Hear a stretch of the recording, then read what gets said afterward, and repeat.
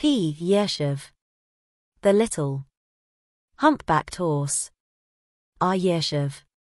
Illustrated by N. M. Kochergin. Progress Publishers. Moscow. Translated from the Russian by Louis Zellikoff. Designed by Iri Kapilov. First printing 1957. Second printing 1971. Third printing 1976. Fourth printing 1980. Printed in the Union of Soviet Socialist Republics. Part 1. Now the telling of the tale begins. JL us the woods and mountains steep. Past the rolling waters deep. You will find a hamlet pleasant.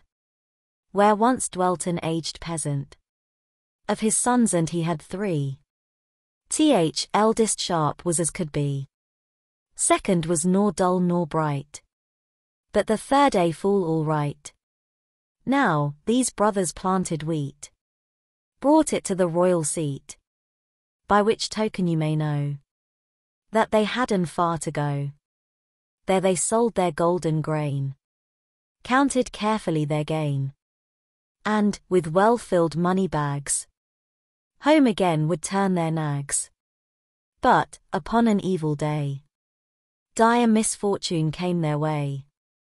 Someone, twixt the dark and dawn, took to trampling down their corn. Never had such grief before. Come to visit at their door. Day and night they sat and thought. How the villain could be caught. Till at last it dawned upon them. That the way to solve the problem and to save their crops from harm, was, each night to guard their farm.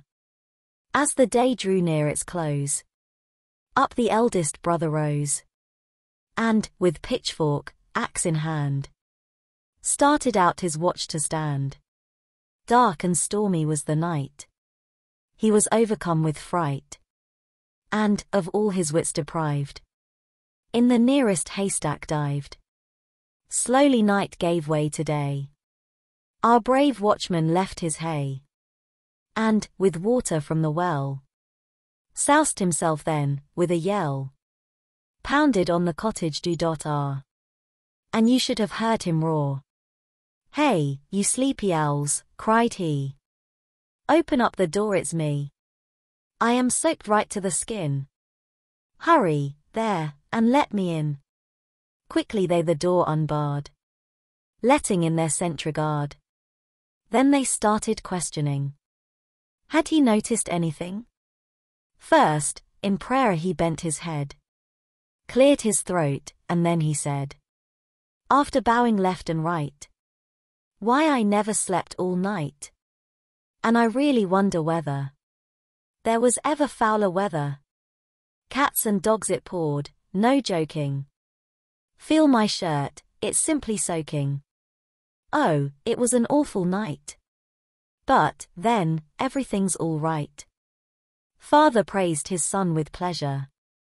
Said, Danilo, you're a treasure. You have served me well, my son. I can only say, well done.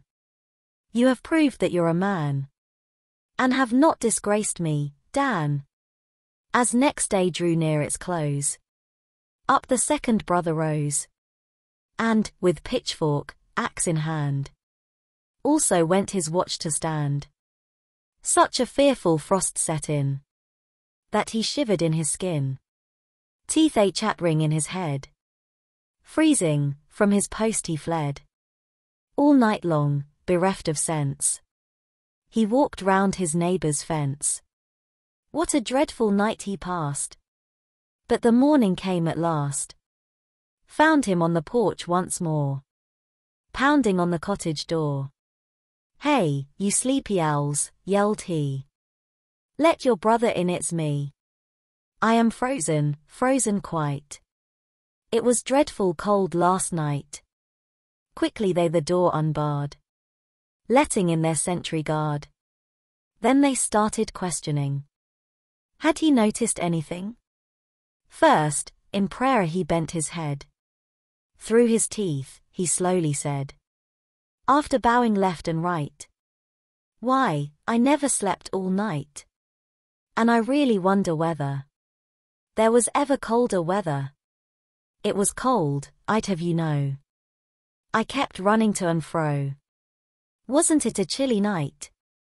But, then, everything's all right. And his father said with pleasure. You, Gavrilo, are a treasure. Evening once again drew near. Now the third should don his gear. But he never turned a hair. Sitting on the oven there. Singing with his foolish might. Oh, you eyes, as black as night. Then to coax and beg Ivan. Both the elder sons began. Bade him go and guard the grain. They grew hoarse but all in vain. Father finally said, Here. You just listen, Vanya dear. Go on watch, and if you do. This is what I'll do for you. I shall give you beans and peas. And some pictures, if you please. At these words, Ivan climbed down. Donned his coat of russet brown. Pocketed a lump of bread. And on sentry-go he sped. Night fell and the white moon rose. On his beat Ivan now goes. Looking sharply all around. Then he sits upon the ground. Munching slowly at his bread. Counts the bright stars overhead. Suddenly, a neigh resounded. To his feet our sentry bounded. Peering round with shaded eyes. In the field a mare he spies. Now, this mare, I'd have you know. Whiter was than whitest snow. Silken mane in ringlets streaming. To the ground, all golden gleaming. Oh, ho ho so this is it. You're the rogue but wait a bit. I don't like such nasty jokes. Played on honest farming folks. Trifling never was my line. And I'll jump upon your spine. Nasty little plague, said he. And, approaching stealthily, seized her tail as in a vice. Mounted on her in a trice. Landed on her with a smack. Back to front and front to back. But the mare, whose blood was hot, started bucking on the spot. Eyes ablaze with angry glow. Like an arrow from its bow. Over hills and valleys sped. Over streams and gullies fled. On her haunches rearing, prancing. Neath the forest branches dancing. All her wiles and strength in vain. Plying, to be free again. But she found her match at last. To her tail Ivan stuck fast. Finally, she said to him. Spent, and trembling in each limb. Since you sat me, I confess. I am yours now to possess. Find a place for me to rest. Care for me as you know best. But remember this my warning. That for three days, every morning. You must let me out to graze. At the end of these three days, Two such handsome steeds I'll bear. As have ne'er been seen, I swear. And a third I promise you. Only twelve hands high, with two little humps upon his back. Ears a yard long, ice coal black. If you wish, why, sell the two. But, Ivan, whate'er you do, part not with the little steed. Though you be in direst need nor for gold, nor silken raiment, nor for lucky charm in payment. Faithful friend to you he'll be. Where carrot you go, on land or sea. He'll find shade from summer's heat. Keep you warm in snow and sleet. Find your food in time of need. Quench your thirst with cooling mead. Afterwards, you'll set me free. Let me roam at liberty. Now, Ivan thought this all right. Found her shelter for the night. In an empty shepherd's shack. O'er its door he hung a sack. Then he homeward made his way. With the early light of day. Singing merrily, hey ho. Vanya would awooing go. See him near his home once more. Knocking at the cottage door. Calling out with might and main. till the rafters rang again. You'd have sworn, to hear him shout, that a fire had broken out. Up his brothers from their beds, jumped in fright, and scratched their heads. Stammering, who knocks so loud? Me, the fool, came answer proud. So they opened up the door. Let him in, and roundly swore. At Ivan how did he dare? Give his brothers such a scare? But Ivan, with heedless air, climbed up on the oven, where, lying down in all his clothes, he related, at repose, his adventures while, amazed, open-mouthed, his hearers gazed. Well, I didn't sleep all night, counting all the stars so bright. Possibly, the moon was there, though I really wouldn't swear. Satan suddenly appeared. Bristling whiskers, bushy beard. Cat-like face and saucer eyes. I stared on in stark surprise. As that devil, with his tail, whipped the wheat as with a flail. You know, joking's not my line. So I jumped right on his spine. He led me a dance, look you. Nearly broke my head in two. But I'm not a fool not quite. Like a vice, I held him tight. How that cunning rascal tried. Finally, he begged and cried. Spare my life this once, please do. For twelve months, I promise you. Not to break a single law. Christian folks to plague no more. I believed him on the spot. Off the devil's back I got. And Ivan then said no more yawned and soon began to snore. While his brothers, though they tried not to, laughed until they cried. Laughing at that booby's joke. You'd have thought that they would choke. Father, too, could not refrain. Laughed, and cried, and laughed again. Though it is a sin, they say. For old men to laugh that way. Since that night, I cannot say. How much time had passed away. For of this I heard no word. Nor from man, nor beast, nor bird. What is this to you or me? Whether one year passed, or three. Time can't be recalled, once fled. Let me tell my tale instead. Well, Danilo Dash, I should say. This was on a holiday. Tipsy, reeled along the track leading to that shepherd's shack. There he saw a handsome pair. Steeds, with manes of golden hair. And beside them, in its stall, stood a horse, so queer and small. Two humps on his little back. Ears a yard long, ice coal black. All the fumes immediately left Danilo's head, and he murmured, H.M. At last it's clear. Why that fool is sleeping here. Breathless bursting home, Danilo. Cried excitedly, Gavrilo. Come and see that lovely pair. Our young fool has hidden there.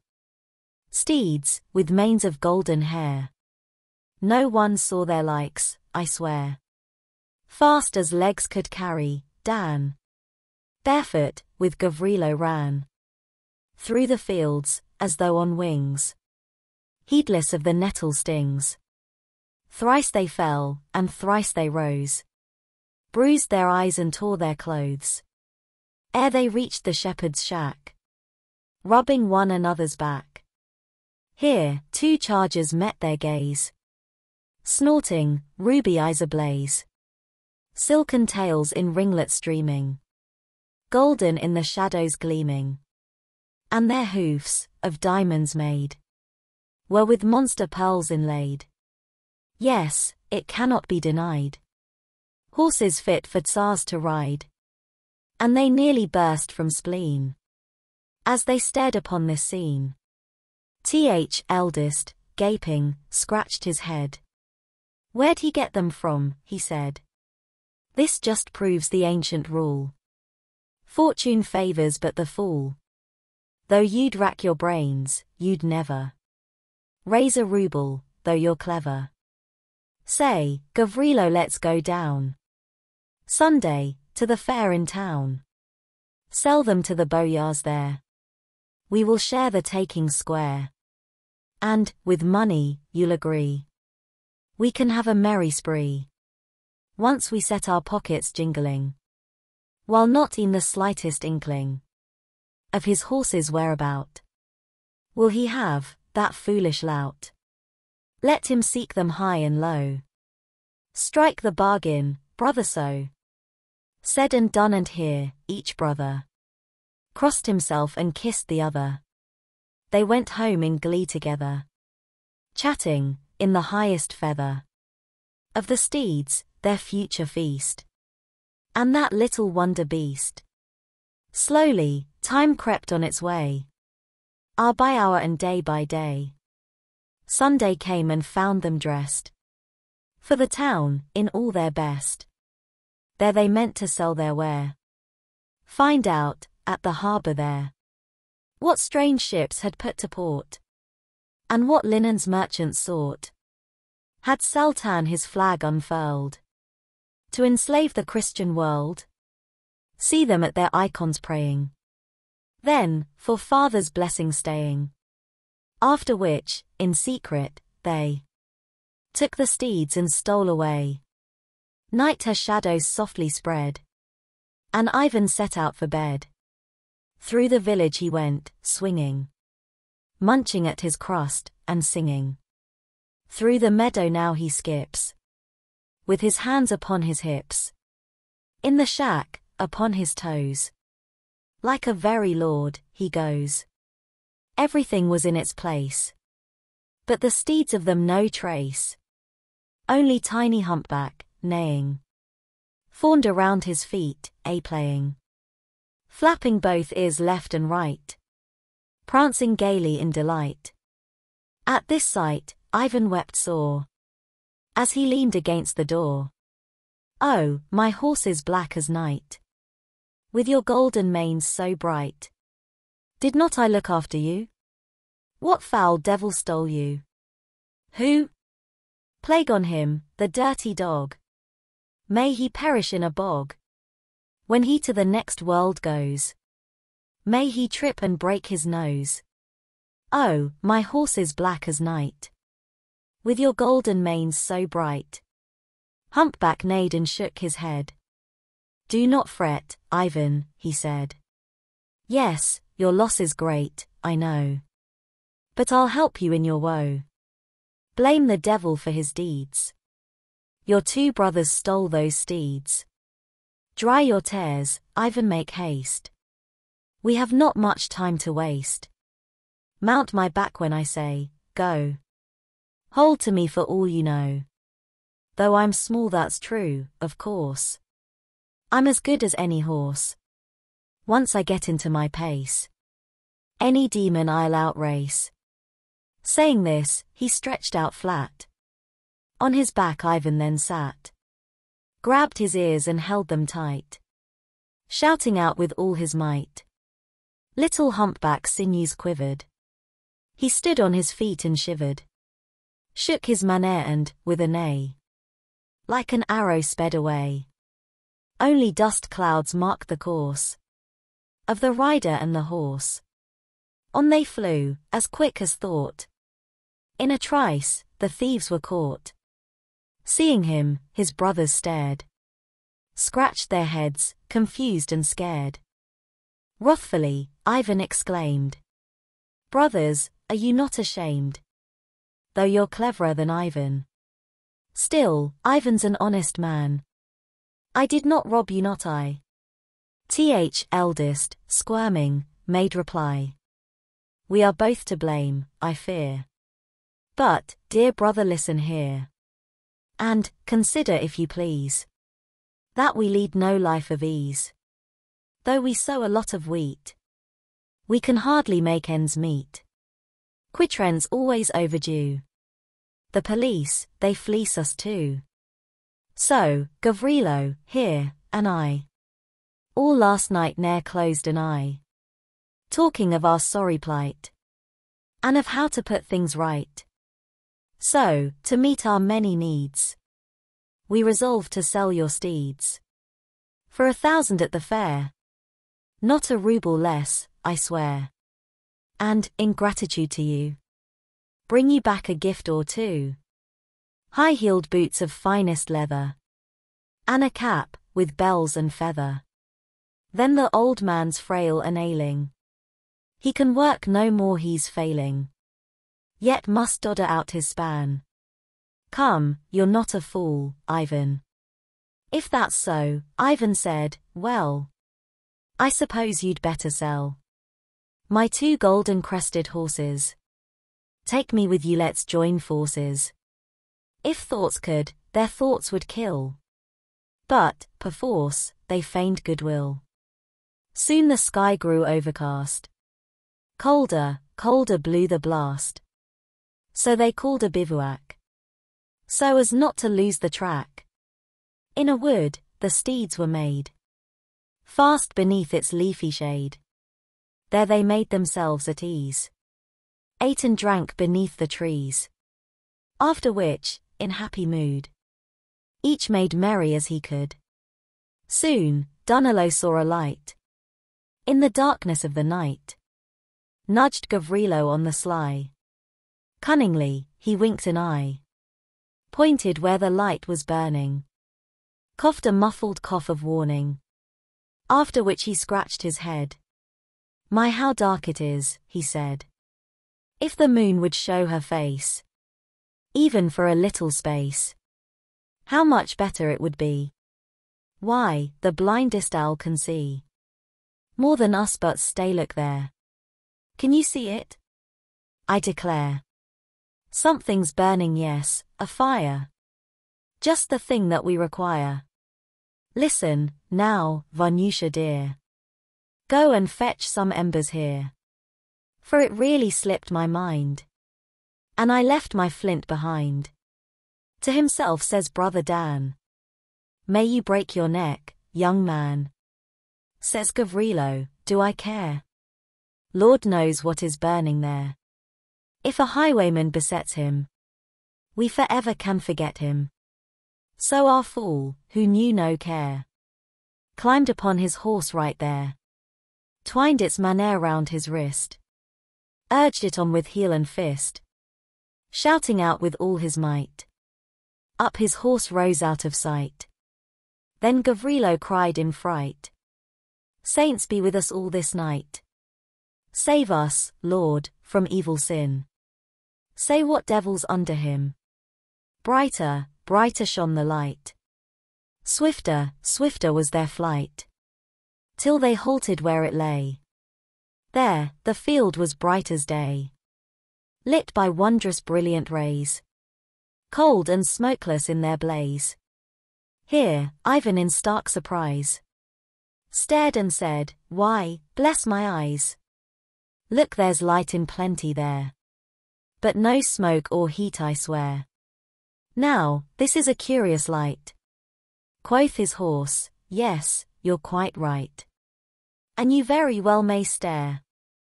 That's a firebird's feather there. But, Ivan, for your own sake. Touch it not, for in its wake. Many sorrows, many woes.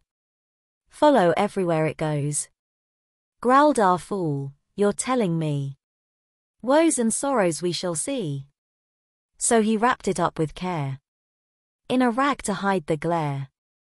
Hid it in his hat, and then galloped swiftly back again. Tied his horse fast to a tree. To his brothers then said he. When I got there, all I found was a burnt stump on the ground. I blew hard to raise a spark. Nearly burst there in the dark. And I puffed and puffed in vain for it wouldn't burn again. Both his brothers laughed all night. At Ivan, in sheer delight. He, however, merely crept. Neath the wain and snoring, slept. Till the dawning of the day. When to town they drove away. Halting at the hostler's fair. Opposite the palace there. Now, there was an old tradition. That, without the mayor's permission, Nothing could be bought or sold. Nor for barter, nor for gold. As the church bells called for prayer. On his palfrey rode the mayor. Spurred and belted, furs on shoulders. Guarded by a hundred soldiers. Near him, bearded and sedate. Rode a crier in full state. Golden trumpet gaily sounding. Voice stentorian resounding. Oh yes, honest merchants there. Open up and sell your ware. And you watchmen stay you near. Guard their stalls keep eye and ear. Sharp, maintaining strictest order. Keep from riots and disorder. See no rogue, however sly. Fools good folk with honeyed lie. Then the merchants loudly call. As each opens up his stall. Honest masters come this way. See what wares we have today. Oh, come buy. Come buy. Come buy. Our goods always satisfy. Buyers flock like flies round honey. Choose their goods and pay their money. As the coins change hands and chink. Merchants to the watchman wink. Meanwhile, with his guards, the mayor halted at the hostler's fair, where he saw a crowd so great that it blocked up every gate, surging like a stormy sea shouting, laughing lustily. Here, the mayor, who wished to see what aroused such jollity, gave his troops an order to clear the way and let him through. Hey, you ragamuffins there. Make way. Make way for the mayor. Shouted his bewhiskered soldiers. Cracking whips on backs and shoulders. Doffing hats, the crowd in pain stepped aside and made a lane. Then the mayor rode in the fair. Saw two chargers standing there. Handsome horses, black as night. Silken manes in ringlets bright. Golden in the sunlight streaming. Flowing tails, all golden gleaming. Here the old man stroked his beard. And his anger disappeared. Wondrous is God's world, quoth he. Countless are its marvels see. And his guards bowed to the ground. Dumbstruck by his speech profound. Then the mayor gave out strict orders. Gainst all tumults and disorders. That those steeds, on no condition, might be sold without permission. Set a guard, and off to court. Raced to hand in his report. Straightway to the Tsar went he. Pardon, gracious majesty, cried the mayor, as he fell prone, breathlessly before the throne. Be not angry with your slave. Suffer me to speak, I crave. Speak, vouchsafe the Tsar. Commence. But be sure your words make sense. I shall try, your majesty. I am Lord Mayor here, you see. I would give my life for you. Yes we know we know, tis true. Sire, I rode to Hostler's Fair. With my guard today, and there. I beheld a crowd, so great. That it blocked up every gate. So I told my men that they break the crowd and clear the way. Which they did, your majesty. In I rode what did I see? When I got inside the fair, I saw two such chargers there. Handsome horses, black as night. Silken manes in ringlets bright. Golden in the sunlight streaming. Flowing tails, all golden gleaming. And their hoofs, of diamonds made, were with monster pearls inlaid. Cried the Tsar excitedly. We shall have to go and see. And, if they are all you say, we shall buy those two today. Ho! My coach. He clapped his hands. Lo, his coach already stands. Donned his robes and crown with care. And in haste drove to the fair. Followed by his guard of state. When he stopped outside the gate. All the people straight away Kneeled and wildly cheered, hooray. In reply, the Tsar smiled brightly, bowed, and from his coach sprang lightly. Charmed by those two steeds, the Tsar gazed at them from near and far, praised and praised them once again, softly stroked each golden mane, gently patted each steed's spine, felt their necks, so sleek and fine.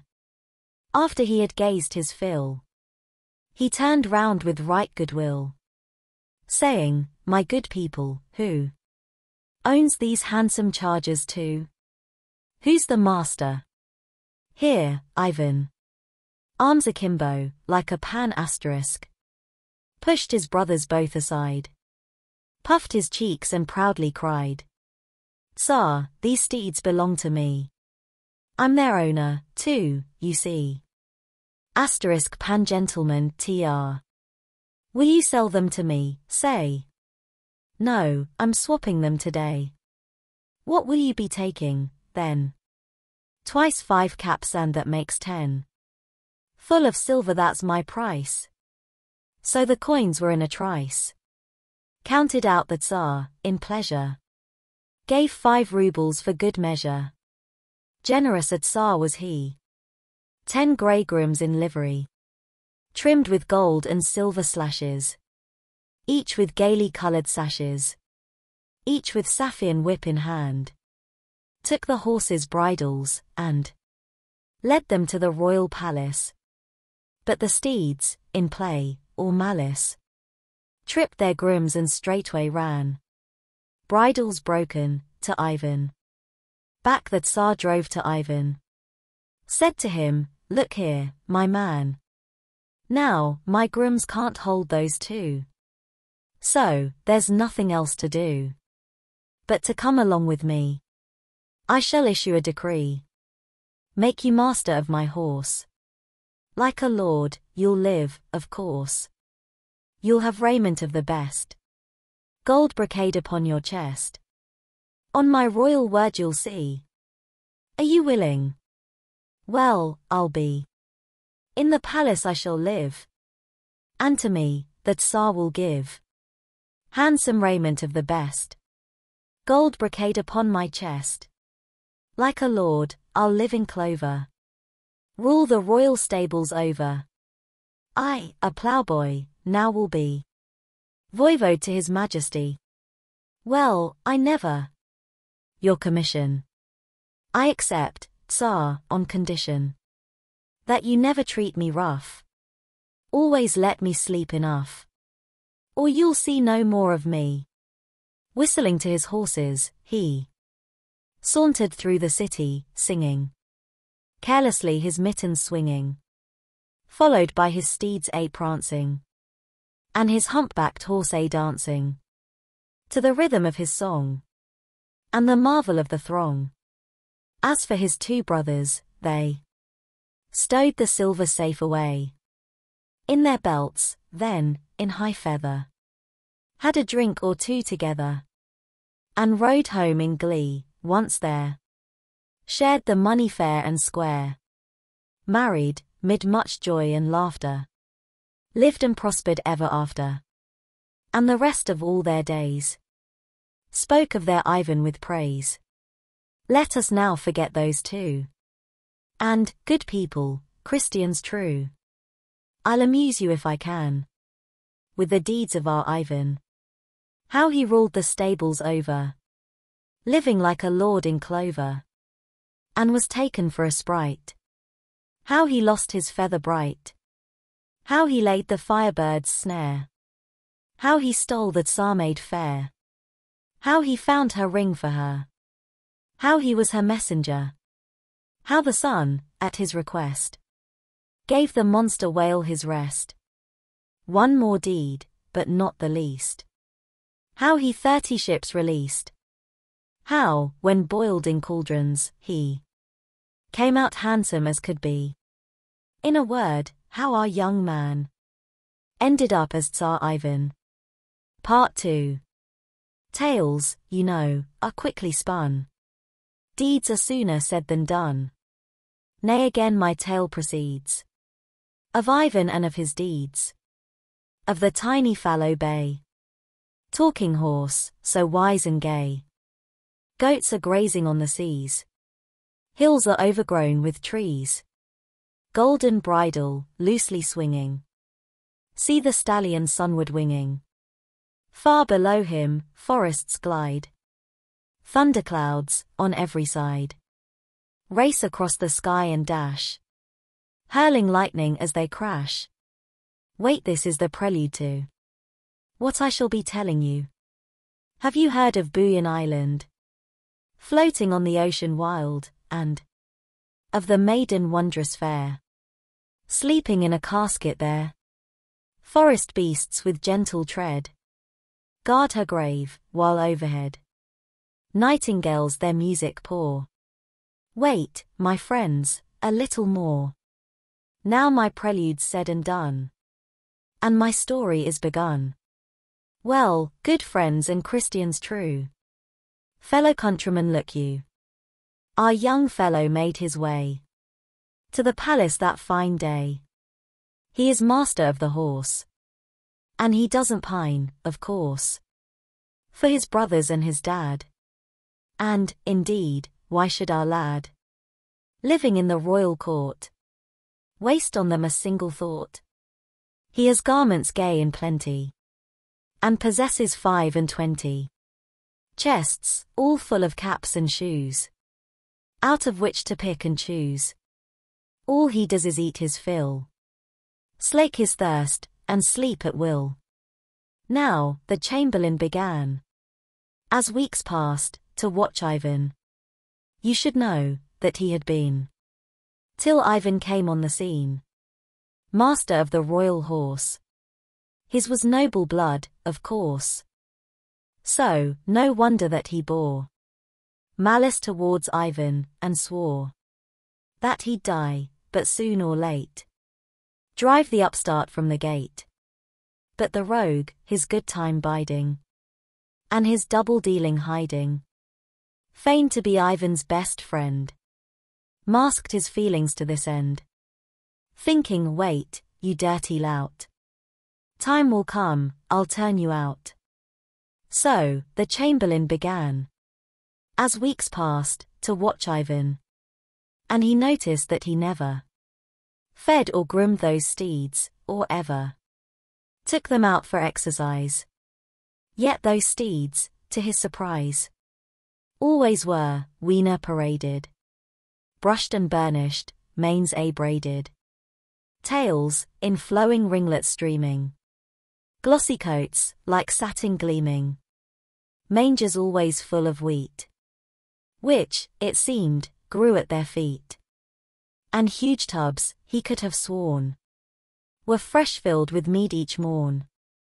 Now, whatever can this mean? Sighed the chamberlain in spleen. Can it be, a goblin sprite?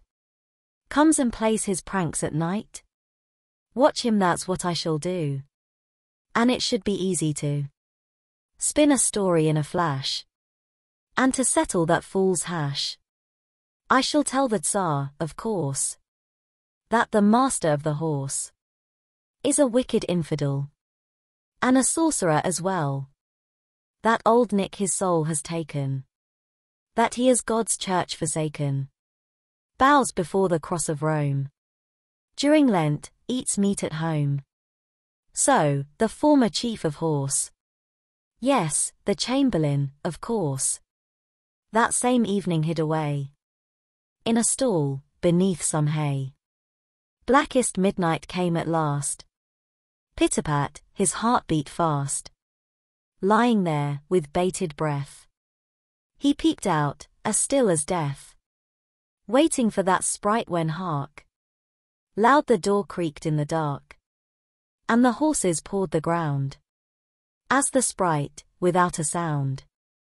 Entered though he looked, of course. Like the master of the horse. First he barred the door, then he took his hat off carefully. And from it he slowly took out his kerchief, which he shook. Till the firebird's feather blazed. While the chamberlain, amazed, nearly screamed there in the hay. Almost gave himself away. Unsuspectingly, the sprite. In a corn bin placed the light. After which, with tender care, he commenced to groom the pair. Braided their fine manes so long. While he sang a merry song. Meanwhile, crouching there and quivering. Hair all bristling, skin a shivering. Stared the chamberlain in fright. At the joker of the night. He could not believe his eyes. Sure the sprite was in disguise. It nor horns nor whiskers wore. 'Twas a handsome lad he saw. Hair with ribbons gaily dressed. Gold brocade upon his chest. Sapphire boots right to his knees. This was Vanya, if you please. Now, what could this mean? Our spy stared again and rubbed his eye. And he growled out finally. Oh, so that is it. I see. Very well. I'll tell the Tsar. What a smart young man you are. Just you wait until tomorrow. You'll remember me with sorrow. But Ivan, quite unaware of the evil lurking there, gaily sings his little song. As he braids those manes so long. After he had groomed each steed, filled each tub with cooling mead, and the bins with choicest corn, he let out a sleepy yawn wrapped the feather up once more, laid himself upon the floor. By his horses made his bed, with his hat beneath his head. With the dawn, the chamberlain stretched his limbs to ease the strain. And, on hearing our Ivan, snoring loud as Yeruslan asterisk, rose, and on his tiptoes crept, cautiously to where he slept, snatched the feather from his hat, then he vanished just like that. As the Tsar woke with a snore. There he stood, right at the door. Bowing low, until his head hit the floor, he whined and said, To confess, O Majesty, I have dared to come to thee. Be not angry with thy slave. Suffer me to speak, I crave. Speak, without exaggeration. And without prevarication yawned the Tsar. If you tell fibs, no, the knout will count your ribs. Gathering his courage, he said, God bless your majesty. On the holy cross, forsooth. I am telling you the truth. All the court knows it is true. That Ivan conceals from you. That which can't be bought or sold. Nor for silver, nor for gold. It's a firebird's feather, see. Which he hides, your majesty. What? A firebird's. And he dare.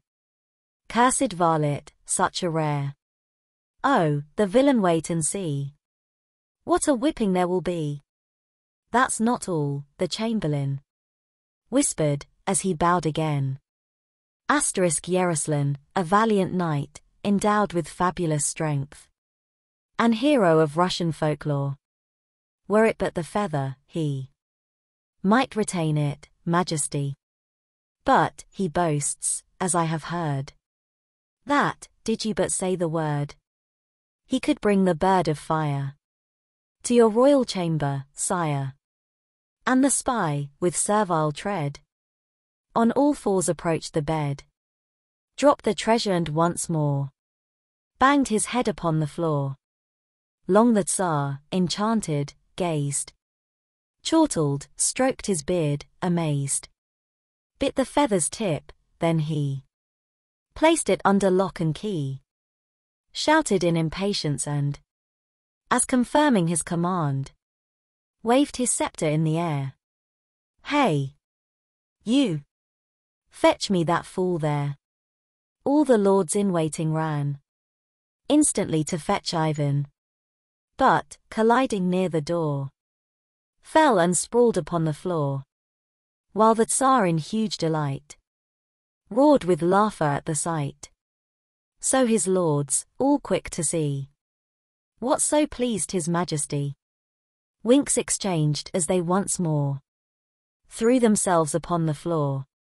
Whereupon, amused thereat, he gave each a brand new hat.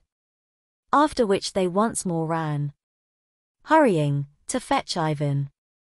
And without an accident, this time, on their mission went. When they reached the stables, they rushed inside without delay. Fell upon our poor fool there. Kicked him, punched him, pulled his hair. Fully half an hour, or more. All Ivan did, was to snore. Finally, a stable groom woke him with a stable broom. Jumping up, Ivan bawled out. Varlets what are you about? I shall teach you not to worry. Me, you villains, in a hurry. When I'm sleeping in my bed. But the lords in waiting said. Up. The Tsar sent us to say. That you come without delay. Oh, the Tsar. Ah, well, then, wait. I will dress and go there straight. Yawning answered our Ivan. So he put on his kaftan. Tied his girdle in its place. Combed his hair and washed his face. And strode forth in pompous pride.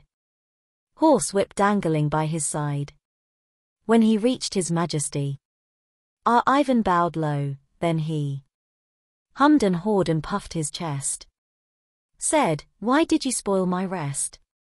Here, the Tsar jumped up in bed. Left eye squinting, seeing red. Silence, wrathfully roared he. It is you must answer me. By what law and what decree? Have you from our majesty hidden what is ours by right? Yes, the firebird's feather bright? Am I not your lawful Tsar?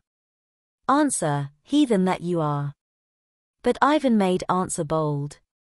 Waved his hand and shouted, Hold! When did I give you my hat? How could you discover that? What have you got second sight? You can lock me up, all right. You can have me beaten flat. I've no feather, and that's that. You'll be flogged. Now answer me. But I'm speaking plainly, see. I've no feather and, how, pray? Could such wonders come my way? Here the Tsar sprang to the floor. Shook the feather with a roar. What is this? Now will you dare? Stand and contradict me there. Here Ivan gave just one look. Like a storm-tossed leaf he shook. Dropped his hat in sheer dismay. Ah, you don't know what to say. Said the Tsar. But wait, my man. Mercy, mercy, cried Ivan. Groveling upon the floor. At the Tsar's feet, sobbing sore. Pardon me this once, please do. And I'll lie no more to you. You'll be pardoned for the nonce. Seeing you have sinned but once. Said the Tsar. But bear in mind. I'll not always be so kind.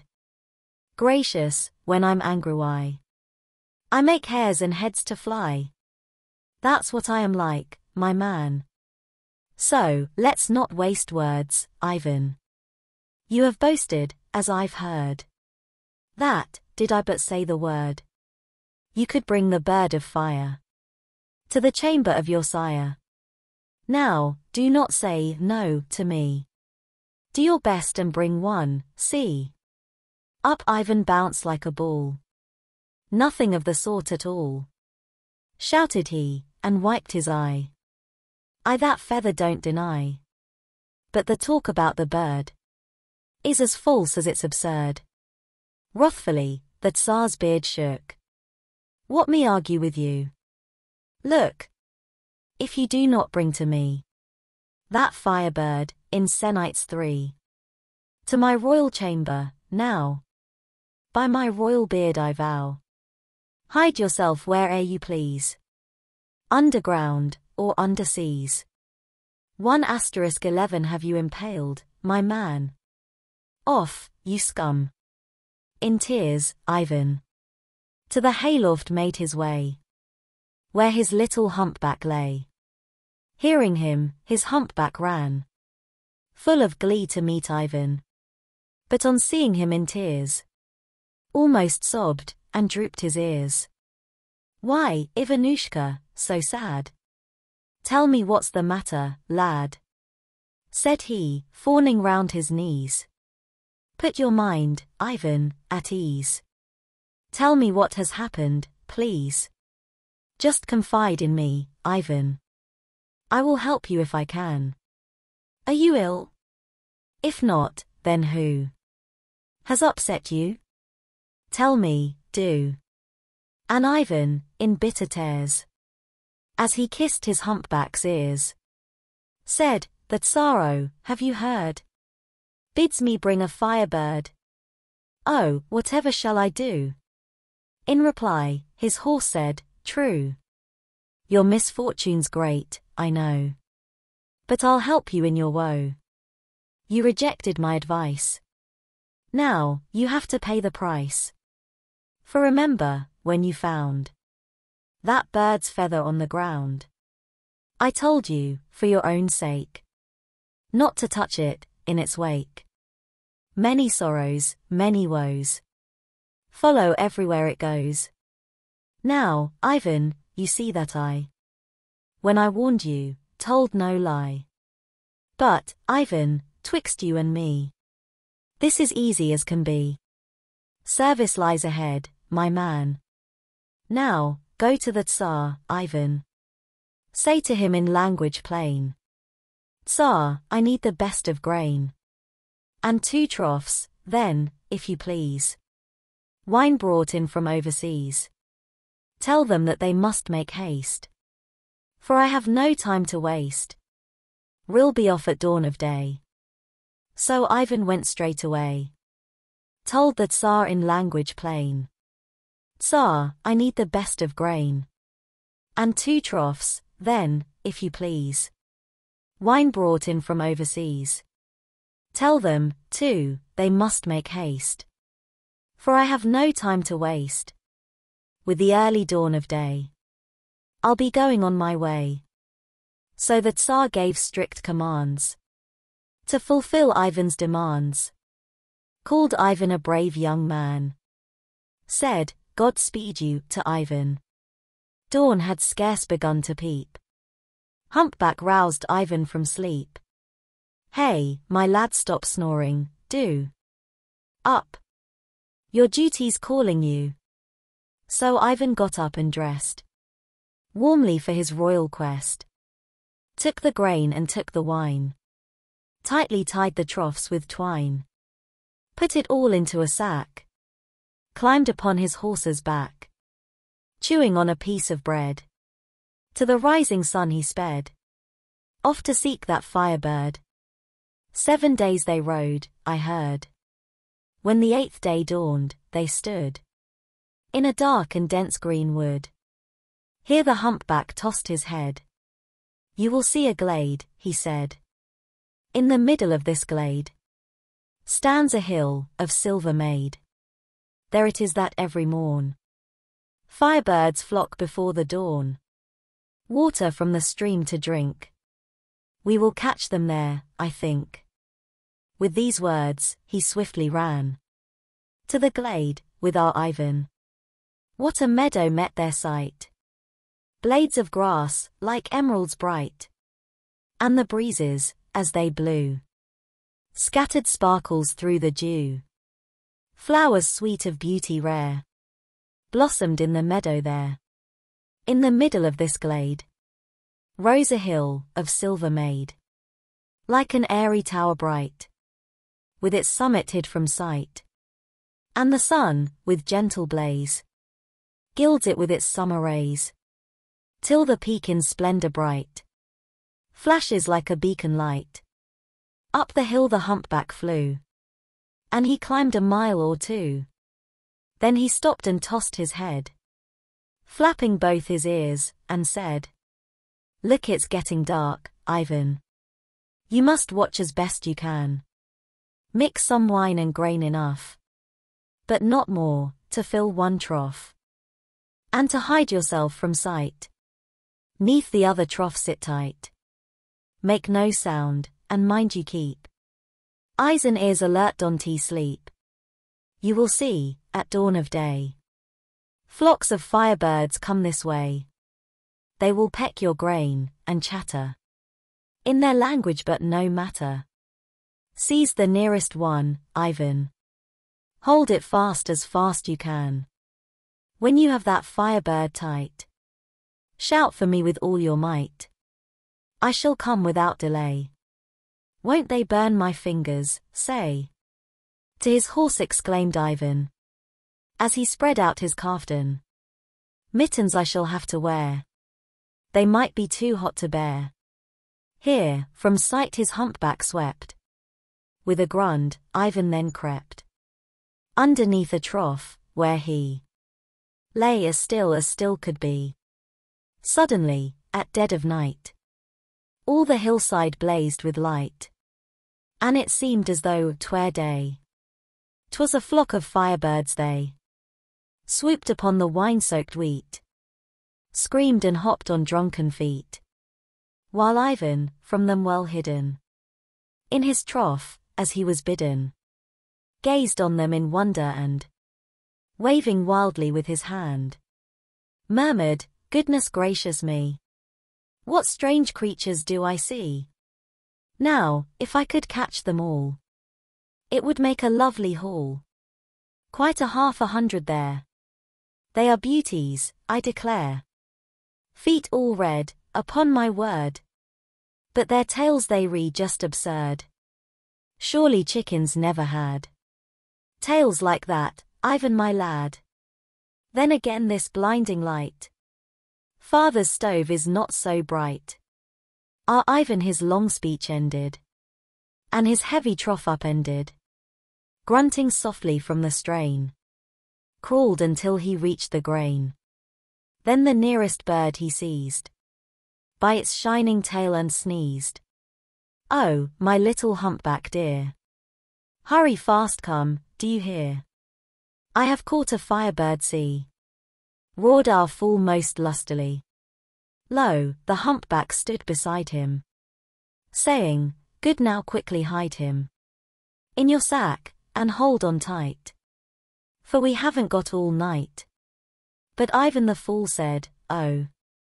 Let me scare them ere we go. Look they ve had so much to eat. That they can't stand on their feet. Said Ivan, and then and there. With his sack he beat the air. In a blinding blaze of light. Started up the flock in fright. Wheeling in a ring of fire. Soaring to the clouds, and higher. While Ivan, with crazy laughter, waved his mittens, running after. Yelling madly, just as though he had swallowed soap, you know. When the birds had gone from view. Our Ivan, without ado, made the royal treasure fast and set off for home at last. Finally, they reached the court. And the Tsar cried, Have you brought me the firebird? While he eyed his attendant by his side, who, the chamberlain, I mean, stood and bit his nails in spleen. Yes, of course, replied Ivan. Then, where is it, my young man? Wait a minute, and you'll see. Bid them first, your majesty. Shut the chamber casement tight. Draw the shades, keep out the light. All the lords in waiting ran. Closed the casement for Ivan. Flinging down his sack with pride. Up say Daisy, dear, he cried. Blinded by the flood of light. They all screened their eyes in fright. And the Tsar, in accents dire, shouted, Gracious! We're on fire! Water call the fire brigade. What a fire this fool has made! Tears a streaming from his eyes. Our birdcatcher, laughing, cries. No, no this is not a fire. It is but your firebird, sire. It's a lovely plaything, see. That I've brought your majesty. Said the Tsar for all to hear. Vanya, friend, I love you, dear. And, in token of my joy, be my royal groom, my boy. Then the former chief of horse. Yes, the chamberlain, of course. Muttered to himself in hate.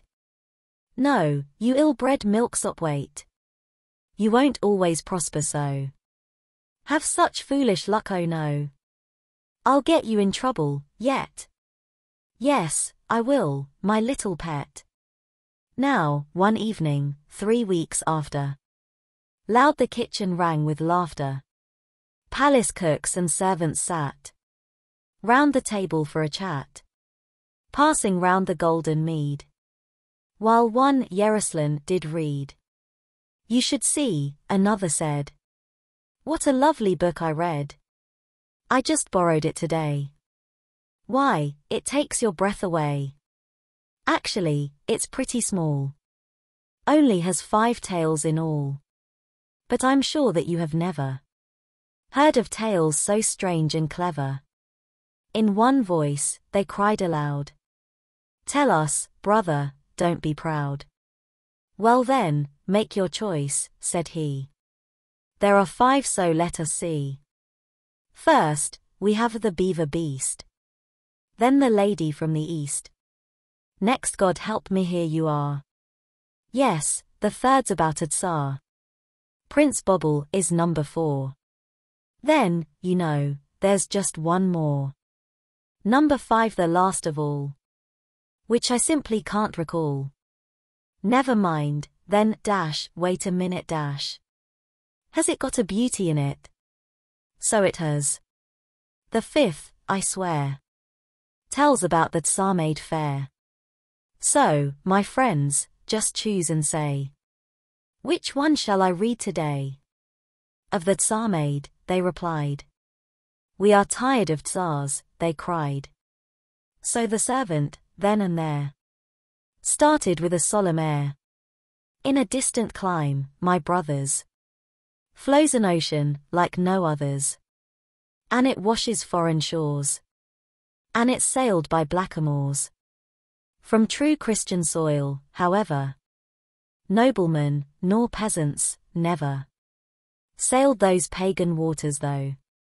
Merchants who have sailed, and know, tell about a maiden fair, living on that ocean there. She's no common maiden, see. Daughter to the moon is she. And she sister to the sun. This fair maid, the stories run. In a scarlet dress arrayed. Sails a boat of gold it's made. And she wields a silver oar. Steers that boat from shore to shore. Gusly in her hand, she sings. As she plucks its silver strings. At these words, the chamberlain bounded up, as if insane. To the royal chamber sped. Where he found the Tsar in bed bowed his head, and with a bang, hit the floor, and whining sang. To confess, O Majesty, I have dared to come to thee. Be not angry with thy slave. Suffer me to speak, I crave. Speak up, was the Tsar's reply. But be sure you do not lie. And the crafty chamberlain murmured, as he bowed again. We sat round the kitchen fire drinking to your health, O sire. And we heard a story there of the wondrous Tsarmaid fair. And your groom got up and said, swearing by your royal head, that he knew this birdiess. So he called her, I confess. And, O sire, it's also true. That he bragged to catch her, too. And the chamberlain once more banged his head upon the floor. Hey! My groom at once to me. Roared the Tsar impatiently. Satisfied, the chamberlain raised himself erect again. While the lords in waiting ran hastily to fetch Ivan. In his nightshirt, straight from bed. To the Tsar Ivan was led. Listen, thus the Tsar began. I have been informed, Ivan. That just now, my lad, you said. Swearing by my royal head. That, did I but say the word. You could bring another bird. For your monarch you did swear. You could catch the Tsar maid fair. God save you from every harm. Cried the Tsar's groom in alarm. Really, only in a dream. Could I say such things, I deem. But no matter what you say. You will not fool me this way. Wrathfully, the Tsar's beard shook. What me argue with you? Look. If you do not bring to me that Tsar maid, in sennights 3. To my royal chamber now. By my royal beard, I vow. Hide yourself where'er you please. Underground, or under seas. I'll have you impaled, my man. Off, you scum. In tears, Ivan. To the hayloft made his way. Where his little humpback lay. Why, Ivanushka, so sad? What's the matter now, my lad? Little humpbacked horse inquired. Are you ill? Or only tired? What's the trouble? Tell me who has upset you? Tell me, do. And Ivan, in bitter tears, kissed his little horse's ears, sobbing, Oh, my humpback dear. I must bring the Tsar maid here. Oh, whatever shall I do? In reply, his horse said, True. Your misfortune's great, I know. But I'll help you in your woe. You rejected my advice. Now, you have to pay the price. But, Ivan, twixt you and me. This is easy as can be. Service lies ahead, my man. Now, go to the Tsar, Ivan. Say, to catch the Tsar maid, sire. Two large cloths I shall require. And a tent of gold brocade. And a dinner service, made. All of gold, from overseas. Sweetmeats, too, her taste to please. So Ivan with fearless tread went back to the Tsar and said, For the Tsar maid's capture, sire, two large cloths I will require and a tent of gold brocade, and a dinner service, made. All of gold, from overseas. Sweetmeats, too, her taste to please. Ah, at last you've found your head. Yawned the Tsar, and from his bed. Gave his lord's most strict commands. To fulfill Ivan's demands. Called Ivan a brave young man. Said, Godspeed to you, Ivan. Dawn had scarce begun to peep. Humpback roused Ivan from sleep. Hey, my lad, stop snoring, do. Up. Your duty's calling you. So Ivan got up and dressed. Warmly for his royal quest. Took the tent of gold brocade. Took the dinner service, made. All of gold, from overseas. Sweetmeats, too, her taste to please. Took the cloths, and everything. Tied up tightly with a string. Put it all into a sack. Climbed upon his horse's back. Chewing on a piece of bread. To the rising sun he sped. Off to seek the Tsar maid fair. Seven days they rode, I swear. When the eighth day dawned, they stood. In a dark and dense green wood. Here the humpback stopped, and said, See the ocean lies ahead. There it is, the whole year round. This Tsar maiden can be found. Only twice a year, not more. Does she spend the day on shore? And, tomorrow, I've a notion. We shall see her on the ocean. Then he galloped fast once more. Till they reached the ocean shore. In the distance, they could see. One white wave roll languidly. Then Ivan dismounted. Here, said the humpback in his ear. Pitch your tent of gold brocade.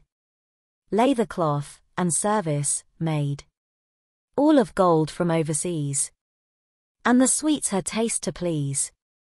Hide behind the tent, and see. That you don't act foolishly. Yonder see, the boat is nearing. With the Tsar maid in it, steering. She'll walk in the tent but you. Let her be, whate'er you do. Let her walk inside the tent. Eat and drink to heart's content. When you hear her gusly play, rush inside without delay. Seize Tsar maid hold her tight. Shout for me with all your might. You won't need to call me twice. I'll be with you in a trice. And we'll go but mind you keep. All your wits awake don't sleep. For if you but let her go, you'll be in for lots of woe. Then he flew off, like the wind. Leaving our Ivan behind. And Ivan, as he was told, hid behind the tent of gold. There he pierced the gold brocade, so that he could watch the maid. As the noonday sun shone clear, to the shore the maid drew near. Gusly in her hand, she went. Straight inside the golden tent. HM. So that's the Tsar maid fair. Breathed the grim dash, I do declare. All those tales were simply lies. When they praised her to the skies. She is not the least bit pretty. Pale and skinny, more's the pity. And her chicken legs, so thin. Why it really is a sin. Let who wills, take her to wife. I would not, to save my life. Here the Tsar maid plucked a string. And so sweetly did she sing. That Ivan, quite unaware, drooped his sleepy head right there. Closed his eyes in slumber deep. Lulled by her sweet voice to sleep. Slowly sank the sun from sight. Suddenly, he woke in fright. By him, furiously neighing. Stood his horse and kicked him, saying, Sleep, my lad, sleep till tomorrow. Sleep, and wake to grief and sorrow. You will be impaled, not I. Here Ivan began to cry. Sobbing on his horse's mane. Saying, I won't sleep again. Pardon me this once, please do. Well, the Lord will pardon you. Said his humpback in reply. Maybe all's not lost, we'll try. And perhaps we'll mend things yet. But no sleeping Don T forget. For again, at break of day. That fair maid will steer this way. She will go into the tent. On your honeyed mead intent. Only mind what I have said. Otherwise, you'll lose your head. Humpback disappeared once more. And Ivan searched on the shore. For some flints and rusty nails. From the wrecks of stranded sails. To arouse him, should once more. He, by chance, begin to snore. It was early morning when. That Tsar maiden came again. Beached her boat once more and sped. By the fragrant odors led. To the dainties which were laid. In the tent of gold brocade. And again she plucked a string. And so sweetly did she sing that Ivanushka once more felt as sleepy as before. No, you nasty little cheat, growled Ivan, upon his feet. This time you won't get away. You will not fool me today. And, unmoved by her sweet song, seized her by her tresses long. Help me, help me, humpback dear. Hurry to me, do you hear? In a flash, his horse stood there. Saying, Well done, I declare. Mount me quickly, now, Ivan. Hold her tight as tight you can. At the palace gates, at last. They arrived, the Tsar ran fast. To the fair Tsar maiden and led her by her lily hand. Neath a silken canopy. To his royal throne, then he fondly gazing in her eyes, said, with honeyed voice and sighs, Peerless, beautiful princess, be my bride. Agree say yes. When I first saw you, desire burned within my breast like fire. Oh, your lovely eyes so bright. they will haunt me day and night. They will torture me by day. And at nights, drive sleep away. Say but one sweet word to me. Everything is ready, see. And tomorrow, oh my life, will be wedded man and wife. And live happy as the May. She, however, turned away from the Tsar with scornful eye and refused to make reply. But this only added fire to his passionate desire. Kneeling, he her fingers pressed. Tenderly her hands caressed. And repeated foolishly. Say but one sweet word to me. Wherein have I grieved you, pray?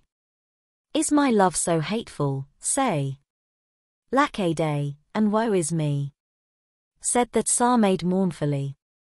If you love me truly, bring me in three days' time, my ring. Lying in the ocean bed.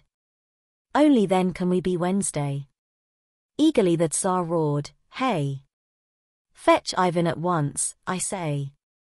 And excited, almost ran. Off himself to fetch Ivan. When Ivan appeared, the Tsar turned to him and murmured, Ah! Vanya here's a job for you. Go down to the ocean blue. From its bottom, you must bring me the Tsar maid's signet ring. If you execute this task, I will give you all you ask. But I've only just got back. And my joints are fit to crack. Now you've found another quest. Can't I even have a rest? Sirrah. Do you tell me tarry? Can't you see I want to marry? Raged the Tsar, and with a roar stamped his foot upon the floor. No more arguments, I say. Now, be off without delay. As Ivan turned round to go, the Tsarevna called out, Oh! Listen visit, on your way. My green mansions, and convey. Greetings to my mother dear. Say, her daughter do you hear? Asks, why she conceals her rays these three nights and these three days. Why my handsome brother shrouds his bright face in gloomy clouds, never sending rays of love from the misty heights above. Don't forget my message, now. As Ivan made his last bow. I will not forget, he said. If it doesn't slip my head. But please tell me who's your brother? Also, Tell me who's your mother? I don't know them, I confess. In reply, the fair princess said, The moon she is my mother. And the sun he is my brother. See you're back in time, my man. Called the bridegroom to Ivan. Who retired and made his way. To his humpback in the hay. Why, Ivanushka, so sad?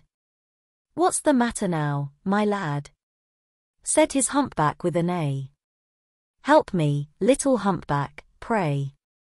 For the Tsar now wants to wed. That there skinny girl, he said. And, Ivan said to his horse. He must send me off, of course. On a journey to the sea. Only gave three days to me. And some cursed signet ring. From the seabed I must bring. For that skinny Tsar maid, I have to travel to the sky. Give her compliments and love. To the sun and moon above. And besides, there are a few questions I must ask them, too. Said his horse, twixt you and me. This is easy as can be. Service, brother, lies ahead. Now, you just go off to bed. Early in the morning, we will be traveling to the sea. In the morning, fresh from rest. Our Ivan, now warmly dressed, put three onions in his pack, climbed upon his horse's back, and sped on his distant quest. Brothers, let me have a rest. Part 3 Till yesterday, Marka used to follow the plough. But look at him today, he's a voivode now. I ra ra ra, tararai. all the horses ran away. But the peasants, at long last, caught them all and bound them fast. Master Raven, croak, croak, croak, blows his trumpet on an oak, and amuses Christian true. Singing, now folks, listen, do. Once a peasant and his wife led a very merry life. He was always blithe and gay. She was merry as the May. When he danced and when she sang. Then with mirth the village rang. This is but the prelude, friends. And my tale starts when it ends. Hark to what the housefly's singing. As upon our gates it's swinging. What's the price for news today? News fresh news what will you pay? Have you heard? The new-wed wife got the beating of her life from her husband's mother who tied her to the oven, too. Trussed her up, secure and neat. Took her shoes from off her feet. Leave the lads alone, she said. And at nights just stay in bed. Now my prelude's said and done. And my story is begun. Well, Ivan rode off to bring back the Tsar maid's signet ring. And his horse flew like the wind, leaving miles and leagues behind. Twenty thousand leagues, ere night. Covered in a single flight. Near the sea, he loudly neighed. Saying, we will reach a glade. In a minute, maybe more. Leading to the ocean shore. Where, with monster head and tail, lies the monster marvel whale. These ten years he lies in pain. Ignorant of how to gain. Pardon, to this very day. He will humbly beg and pray that you pardon for him gain. When we reach the sun's domain, promise him, Ivan, and see that you do so faithfully. When they reached the glade, they flew straight towards the ocean blue. There, across it, lay the whale. Monster head and monster tail. He was all one mass of holes. From his ribs grew stakes and poles. On his tail a forest black. And a village on his back. Peasants on his lip drove ploughs. Children danced between his brows. Oak trees on his huge jaws grew. Maidens there sought mushrooms, too. Clatter, clatter, clatter, clack. Rode the humpback o'er his back. While the monster marvel whale eyed them as he swished his tail, opening his huge jaws wide. As most bitterly he sighed. May God speed you, gentles too. Whither bound, and whence are you? We're the Tsar maid's envoys, see. From the capital are we. Little humpbacked horse replied. Eastward, to the sun, we ride. To his residence of gold. Fathers, may I make so bold? Said the whale, to beg of you. When you reach the heavens blue, ask the sun, how long must I suffer this disgrace, and why? For what sins, let him explain. Must I bear this grief and pain? Yes, yes, monster whale, all right. Yelled Ivan with all his might. While the whale, with bitter cries, begged Ivan, between his sighs. Please have pity on poor me. These ten years I'm suffering, see. Do this favor for me, do. I will serve you some day too. Yes, yes, monster whale, all right. Yelled Ivan with all his might. Then his horse, with one leap bore. Vanya to the other shore. Leaving clouds of dust behind. As he flew on like the wind.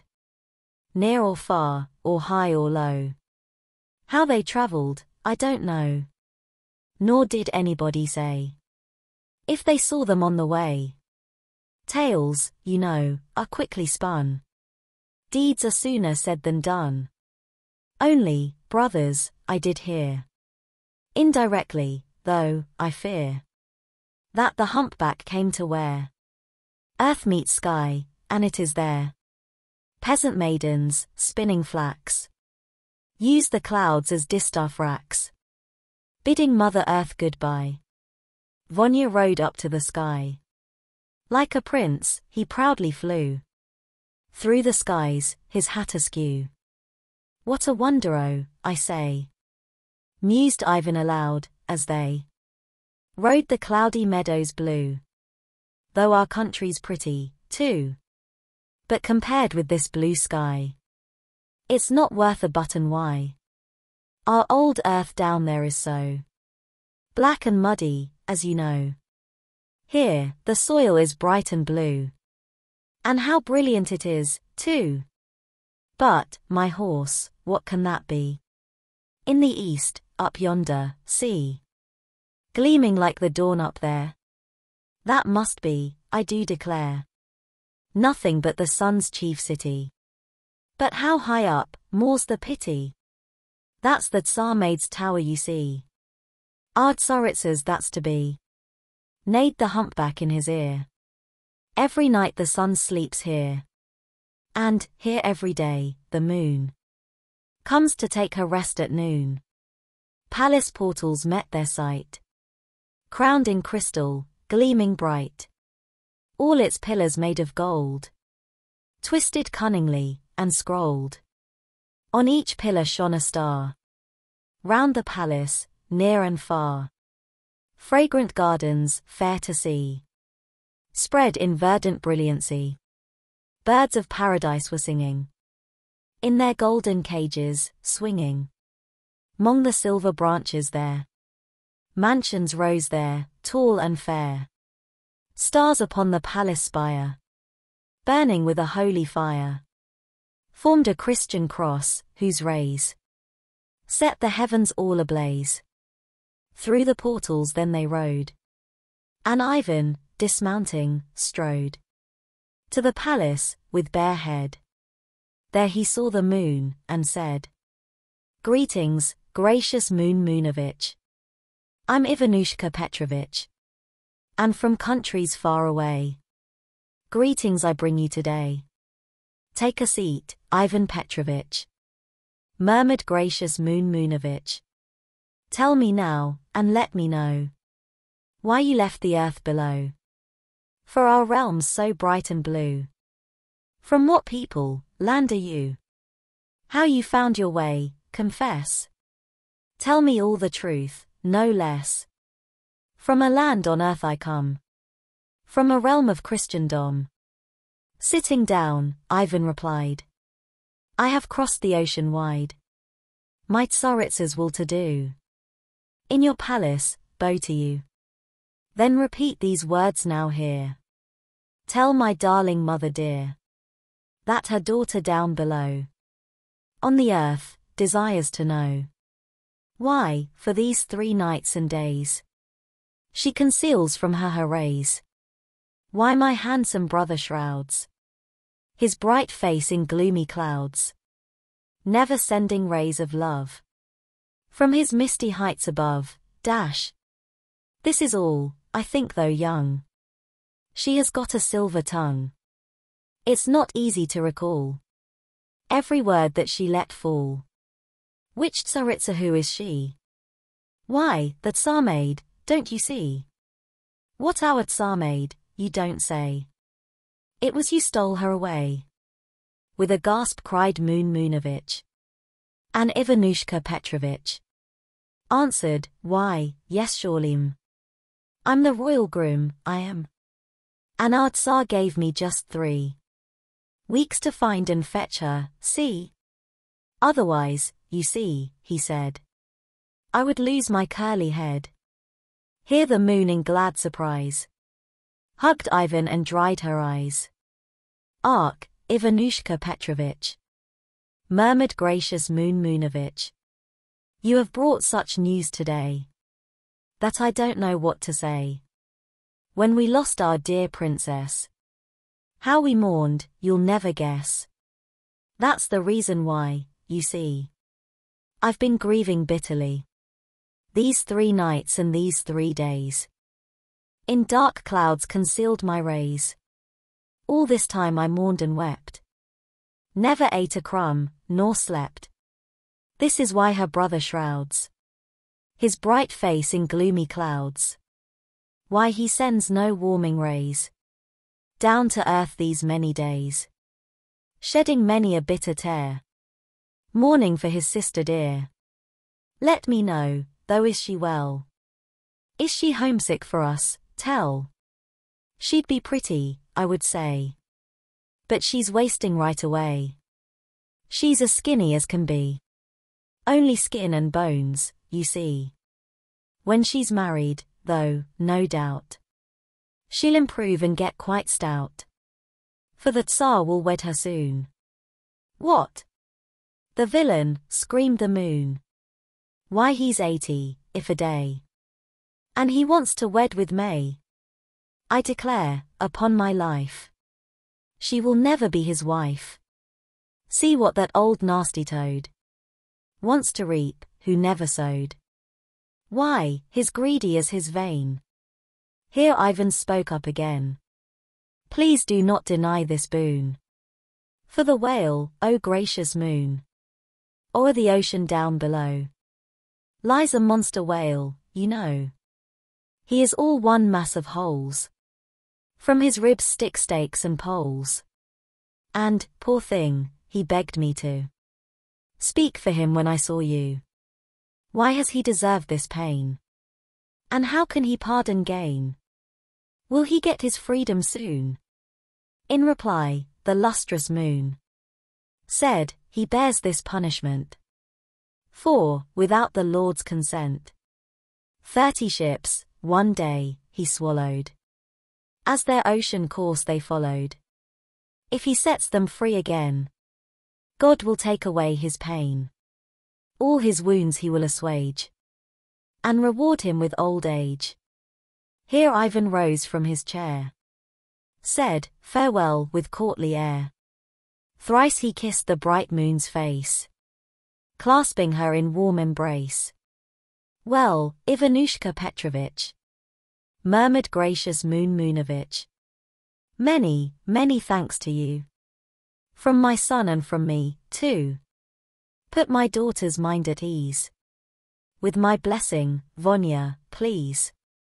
Tell my daughter that I say. Mothers with you night and day. Cease from grieving sigh no more. Soon will end your sorrow sore. For you'll never never wed.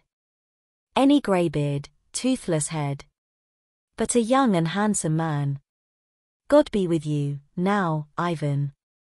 Bowing low as best he knew. Vanya climbed his humpback true. Whistled like a noble knight. Then rode back with all his might. Next day, our Ivan once more came up to the ocean shore. Clatter, clatter, clatter, clack. Rode he over that whale's back. While the monster marvel whale sighed and slowly waved his tail, saying, Sighs about my boon? Will I get my freedom soon? But the humpback merely said, Wait, O whale, and ran ahead. To the village marketplace. Where he called the populace.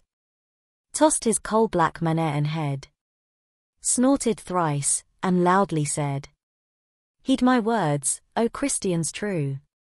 Mark what I am telling you. If you wish to keep away from a briny grave today, Get you gone this minute, now. Wonders will take place, I vow. For the monster whale will turn. And the sea will seethe and churn. Hear the peasants, great and small. Christians true they one and all. Hurried off to home and farm. Crying out in wild alarm.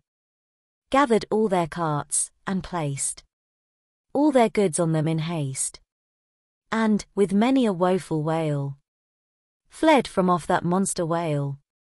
And, by noon, you could not find anybody left behind.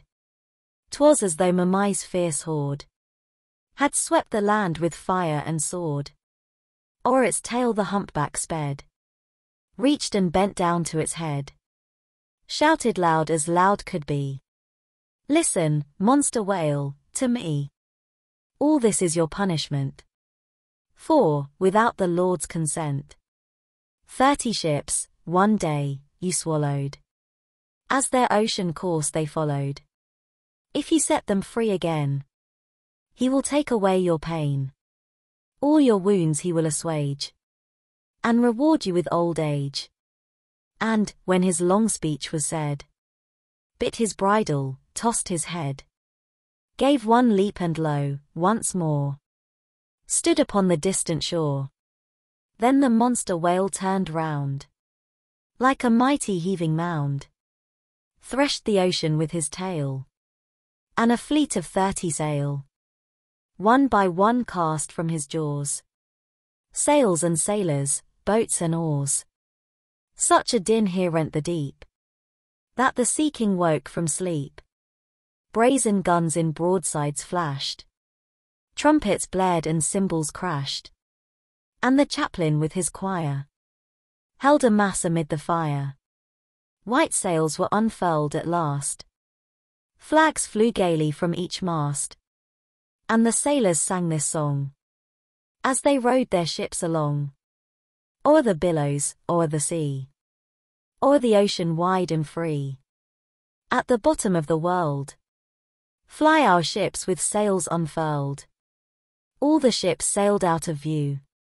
Hidden by the billows blue. While the monster marvel whale threshed the waters with his tail. Opened up his jaws so wide. Lifted up his voice, and cried. Tell me, friends, what can I do? In return, or give to you? Colored seashells, do you wish? Would you care for golden fish? Lovely pearls? Oh, anything. You may ask for, I will bring.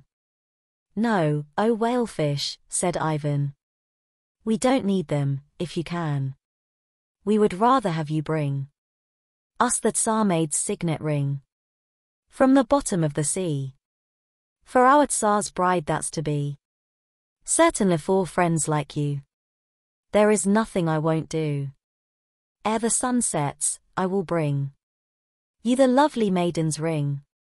Said the whale, and sank like lead. To the very ocean bed. There, the monster marvel whale. Raised his voice and thumped his tail. Called the tribe of sturgeons, and thus delivered his command. Ere the sun sets, you must bring me the fair Tsar maiden's ring. It is hidden in a chest. Who fulfills this my behest will receive a title he. Privy Councillor will be. But, if I am not obeyed, on my word I'll have you flayed. At these words, the sturgeons bowed and withdrew in order proud. In another hour or so, two white sturgeons, swimming slow, humbly bending head and tail. Thus addressed the monster whale. Be not wrathful, O great Tsar. All the oceans, near and far. We have searched and ploughed but we. Of that ring no sign could see. Of your subjects, but one fish. That's the perch can do your wish. He's at home in all the seas. He will find that ring with ease. But, perhaps it was in spite. That he left his home last night. Have him found and brought to me. To my cabin, instantly. Thundered wrathfully the whale. Wiggling whiskers, fins and tail. Bowing low, the sturgeons raced. To the county court in haste. There they had a royal writ. Drawn up instantly to wit. That the brawling perch, when caught, to his majesty be brought. It was pending copperplate. By the bream, in duplicate. And the sheepfish, counsellor. Signed without the least demur. Then the lobster and the eel. Sealed it with the royal seal. Called a pair of dolphins, who were forthwith commissioned to institute a thorough search for that vagrant brawling perch and, when they had found the same, seize him, in the royal name, and immediately to hail him before the royal whale. Here the dolphins bowed assent, and to seek the perch they went. So they searched an hour, or more. All the seas from shore to shore. All the lakes they searched, and they searched each river, creek and bay. For the perch but all in vain. And, chagrined, turned back again. Almost shedding tears for shame. Suddenly, from somewhere came. Unexpectedly, a cry. From a little pond nearby. To the pond they turned, and they dived below without delay. There, the perch in furious war. With a little carp they saw. Hiss the devil take you now. Roared the runner's dash, what a row. One might think from your loud cries. You were fighting for a prize. Who asked you to interfere? Cried the perch, who showed no fear. I'm no joker for two pins. I would rip you with my fins. Oh, you brawling vagabond. You, of squabbling always fond. You would only gad about. Rascal you, and fight and shout. Home and you just don't agree. But why argue with you see? Here's the Tsar's you case that you come to him without ado. Then they drag the vagabond by his whiskers through the pond. To the whale, the perchfish, he yelled and struggled furiously. Brothers let me give him one little punch, and I'll be done. Why, that carpfish, publicly. Yesterday insulted me. Called me names, and cursed me, too. Let me get at him, please do. Long and loud he shouted, till. Willy-nilly, he grew still. While the dolphins swam with him. Through the seas, in silence grim. Hauling him by gills and fins. To the whale, for his black sins. Traitor's son what does this mean? You are late where have you been? Wrathfully roared out the whale. And the perch, all meek and pale. Begged for pardon on his fins. And confessed to all his sins. Well, I'll pardon you this time. If you expiate your crime. And fulfill my royal wish. Said the monarch of the fish. I shall only be too proud. On his fins, the perch squealed loud. You are always in and out. Of the oceans and no doubt. So that Tsarmaid's ring. Yeah, yeah. I can find it straight away. Well, be off with you, and see. That you bring it instantly. Then the perch, with humble tail. Bowed and left the royal whale. Railed the servants to their face. Tried to kiss a pretty dace. Punched a dozen sprats in play. Ere he went upon his way. After which, he fearlessly dived into the slimy sea. And, from out the ocean bed, dug a casket with his head. Weighing no less than a ton. This is easier said than done. Cried the perch, he gave a shout. For the herrings to come out though the herrings did their best. Pushed and crowded round the chest. Squeaking, squealing, high and low. Yo heave ho, and a yo, ho ho. All their efforts were in vain. They grew hoarse from cries and strain.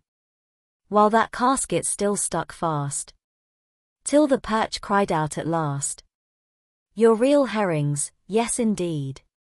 Vodka? Knouts is what you need. Then, in dudgeon, quickly made.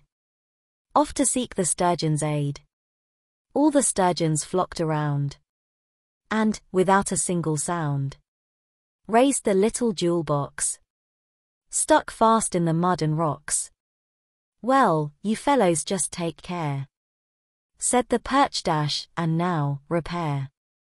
To the Tsar, while I shall go home, and take a rest below.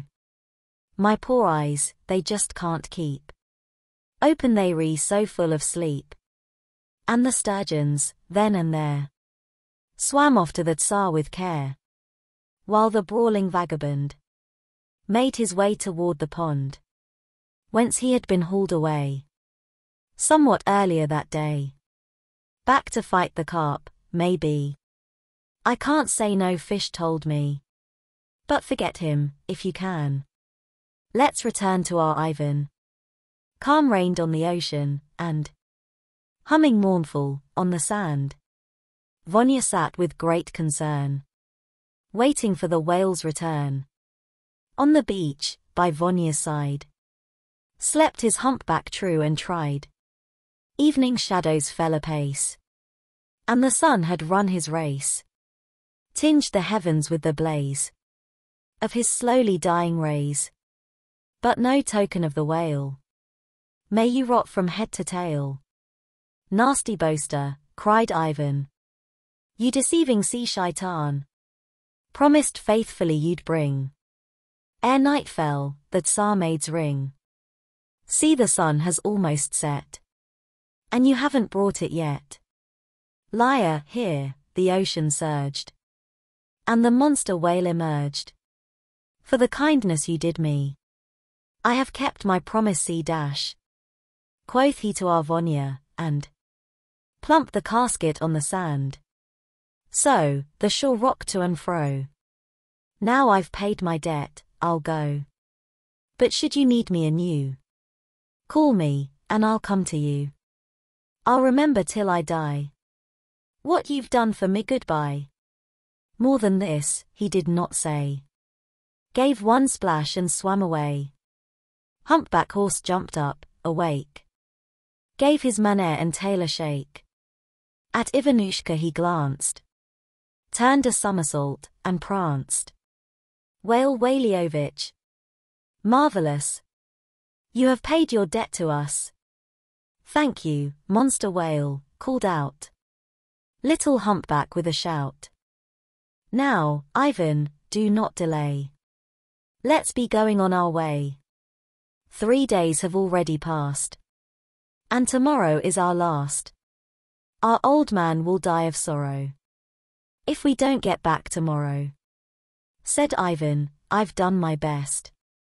But I cannot raise that chest. I'd be very happy to. But it's more than I can do. Though I tried three times to lift it. Yet I couldn't even shift it. It must hold at least a score or a hundred fiends, or more. Here his horse, without a sound. Raised the casket from the ground. To his neck, with one light kick. And then said, Now, mount me, quick. Time is nearly up, you know. And we still have far to go. Horse and rider, tired and worn. Reached the palace gates at dawn. And the Tsar ran out to meet him. Where's my ring, was all his greeting. Vanya got off from his horse. Proudly answered, Here, of course. And, a little casket, too. Call the guards, though, for look you. Yes, it may seem small, but yet. It could crush the fiend, I'll bet.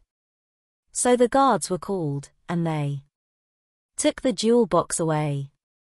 Then the Tsar, he forthwith sped to the Tsar maid, and he said, in a sweet and tender voice, Dear, your ring is found rejoice. Now, permit me to repeat. There's no obstacle, my sweet, to prevent us, O oh my life, from becoming man and wife. In the morning, but, my dear, come and see, your ring is here. Yes, I know, I know, she said. Still we cannot yet be Wednesday. Why can you not be my wife? Why, I love you more than life. And, forgive my boldness, do. I just want to marry you. If you don't, at dawn tomorrow. I shall die of grief and sorrow. Oh, tsur, it's a pity me. But the Tsar maid said, said she. Only look you re old and grey. I'm but fifteen and a day. We can't marry if we do. All the tsars will laugh at you. saying there goes youth with age. But the Tsar replied in rage. Mock me. Only let them dare. They won't laugh again, I swear. I shall put them all to flight. Kith and kin to death I'll smite. Even then, the Tsar maid said. You and I cannot be Wednesday. I won't marry you remember. Roses don't bloom in December. I am beautiful let's see. What can you boast of to me? Quoth the Tsar, I may be old. Yet I am both gay and bold. When I dress myself a bit. Everybody will admit. That I'm handsome as can be.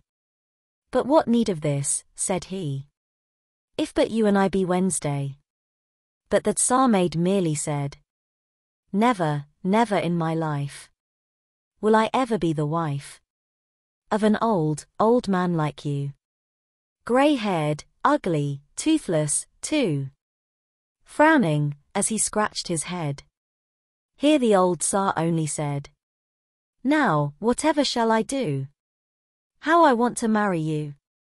Yet the only thing you say is, forever nay and nay. But again the Tsar maid said, Grey hairs I shall never wed. You regain your youth anew. And I'll gladly marry you. Oh, Tsaritsa, dear look here. One can't be reborn, I fear. Only God works wonders, see. Then the Tsar maid said, said she. If you have no fear of pain, you will soon be young again. Listen early in the morn. On the palace courtyard lawn. You must have three cauldrons ready. Two on fires burning steady. Now, the first one must be filled. To the brim, with water chilled. While the next with water hot. Have it boiled there on the spot. Then, with milk fill up the last. Heat it, till the milk boils fast. If you wish to marry me, young and handsome wish to be. First you must your robes divest. Plunge into the milk, undressed. Next, in boiling water, then. In the water cold and when. You emerge believe me, you. Will be young and handsome too. All that Tsar did was to say. That his groom come straight away. Are you sending me once more? Cried Ivan, off to the shore. No, your majesty not if. I can help it I am still stiff. As it is no, I won't go. No, the Tsar said dash, no, no, no. Listen, now tomorrow morn. On the palace courtyard lawn. I will have three cauldrons filled. One will have cold water, chilled. In the second cauldron pot, there'll be water, boiling hot.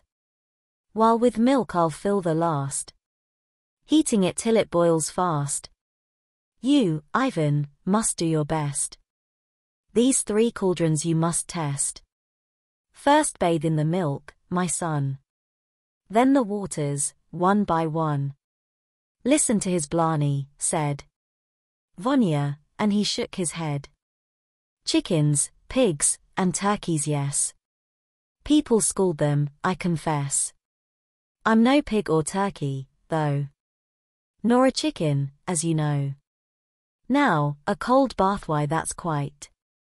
Difference rent and, I'll say, all right. As to being boiled alive. You can't tempt mid on tea you strive. But enough, your majesty. Don T you make a fool of me. Wrathfully, the Tsar's beard shook. What me argue with you? Look! If my bidding be not done, with the rising of the sun, I will have you drawn and quartered, tortured on the wheels and slaughtered. Off with you, you wretched plague, you! Shivering as with the ague. Vanya to the hayloft crept, where his little humpback slept. Why, Ivanushka, so sad? Why so downcast, then, my lad? Has our bridegroom found another? Task for you, my little brother. Said his horse, Ivan, in tears. kissed his little horse's ears, held his neck in close embrace. As the tears rolled down his face. Woe is me, my horse, sobbed he. He will be the death of me. Now I've got to bathe, undressed. In three cauldrons, for a test. In the first, there's water, chilled. Next, with boiling waters filled. In the third milk, scathing hot. Yes, that is a task you've got. Said his horse. For this, you need. All my friendship, yes, indeed. Your misfortunes are the price. Of refusing my advice. Thank that evil feather for. All your woes and sorrows sore. But, God bless you do not cry. We will manage, you and I. I would sooner perish, than leave you in the lurch, Ivan. Listen, lad tomorrow morn. When you strip there on the lawn. Say, your gracious majesty. Please to send my horse to me. So that I can say goodbye. To my horse before I die. Now, I know he will agree. And he'll send a groom for me. I will wave my tail about. In each cauldron, dip my snout. Then I'll squirt upon you, twice. Whistle long and loudly thrice. You be sure to look alive. In the milk then quickly dive. Then in waters hot and cold. Dive, just as you have been told. Now, my lad, go, say your prayers. Sleep in peace, forget your cares. Dawn had scarce begun to peep. Humpback roused Ivan from sleep. Hey, my lad, stop snoring, do. Up. Your duty's calling you. So Vanyusha scratched his head. Yawned, and scrambled out of bed. Crossed himself and said a prayer. Sauntered to the courtyard, where, near the cauldrons, in a row, sat the servants, high and low. Princes, dukes, and lords and pages. Cooks and coachmen, fools and sages. Sat and whispered with a smile. And discussed Ivan, the while. Logs were fed onto the fire. So that it should not expire. Then the portals opened wide. And the Tsar, with his young bride, came to watch there, with the rest. How Ivan would stand the test. And the Tsar called out, Ivan. Now, undress yourself, my man. Dive, and bathe without delay. In those cauldrons there, I say. Vanya stripped no word said he. And the young Tsaritsa, she, veiled herself right then and there. So as not to see him bare. To the cauldrons Vanya sped.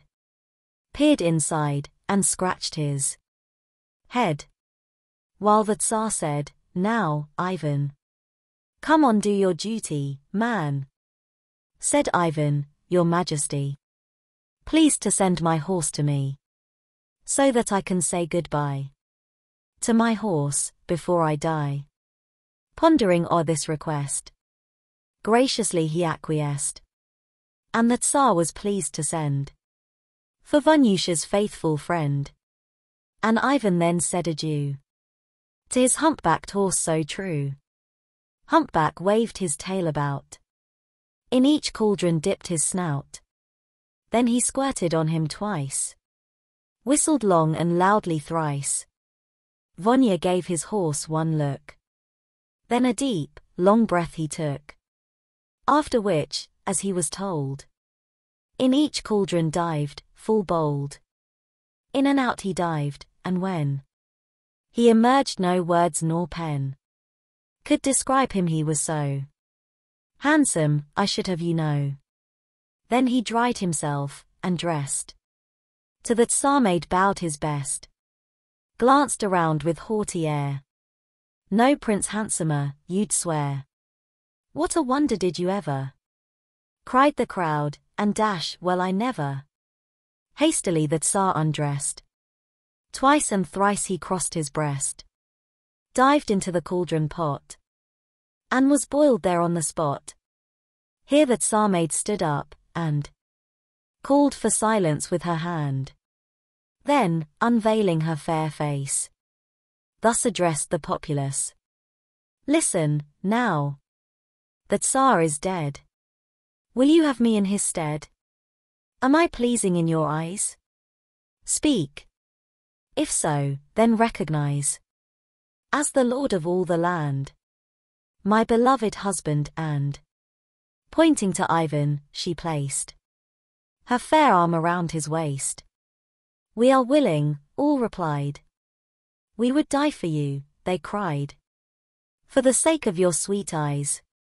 Tsar Ivan will recognize. Hand in hand, the royal pair. Tsar and young Tsaritsa fair. To the holy altar sped. And in God's church they were Wednesday. Cannons from the castle flashed. Trumpets blared and cymbals crashed. From the cellars, then and there. Casks were rolled with vintage rare. And all night the drunken throng shouted out in merry song. Long lived Tsar Ivan, they cried. And the fair Tsar maid, his bride. In the palace, mirth held sway. Wines like water flowed that day. And before the groaning boards, princes drank with dukes and lords. 'Twas a pleasure. I was there. Mead and wine I drank, I swear. Though my whiskers bathed in wine. Nothing passed these lips of mine. The end.